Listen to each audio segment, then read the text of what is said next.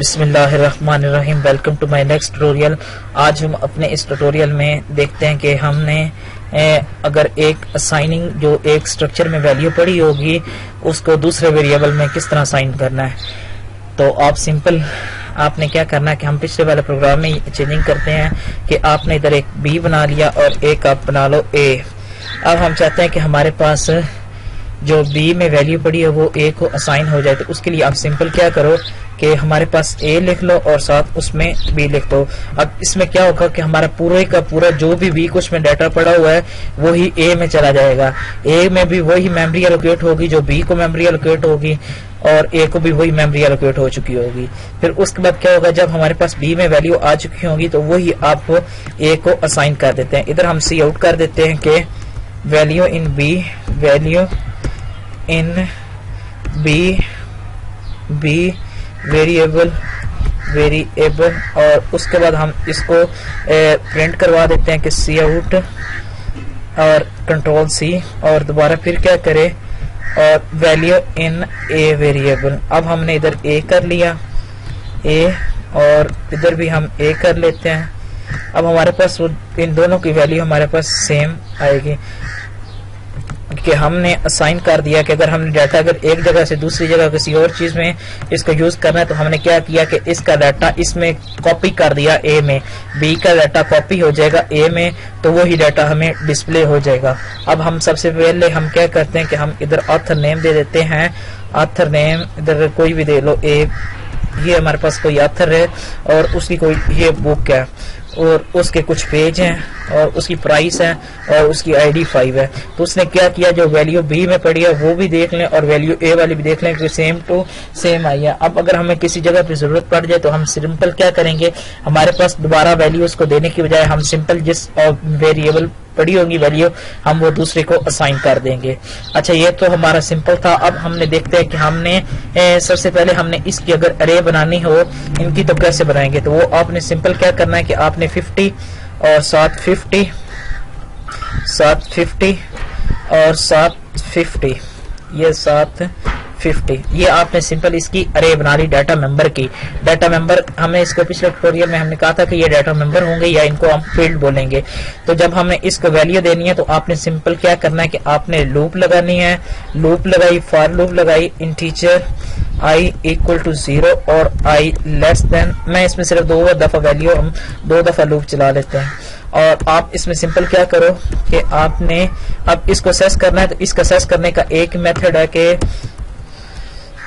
आपने सिंपल ये अब लूप चल रही, आपने इधर, आपने सिर्फ़ इंडेक्स उसका बता देना है कि आप किस इंडेक्स पे जाके आप उसकी वैल्यू स्टोर करवाना चाह रहे हो।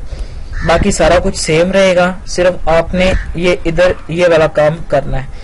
ठीक हो गया? अब इसमें हमारे पास क्या हो जाएगा कि हमारे पास अलग अलग डाटा मेंबर में वैल्यू चली जाएँगी और वो हमें वैल्यू साथ साथ डिस्प्ले करवा देगा।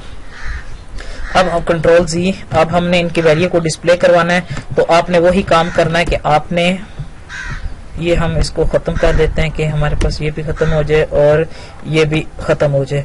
अब हमने सिंपल एक फार लूप और लगानी है जिसमें हम इन वैल्यू का देखना चाह रहे हैं। तो उसके लिए आप क्या करना पड़ेगा? Integer i equal to zero i less than two और आई प्लस प्लस उसके बाद हम क्या करते हैं कि हम इसका,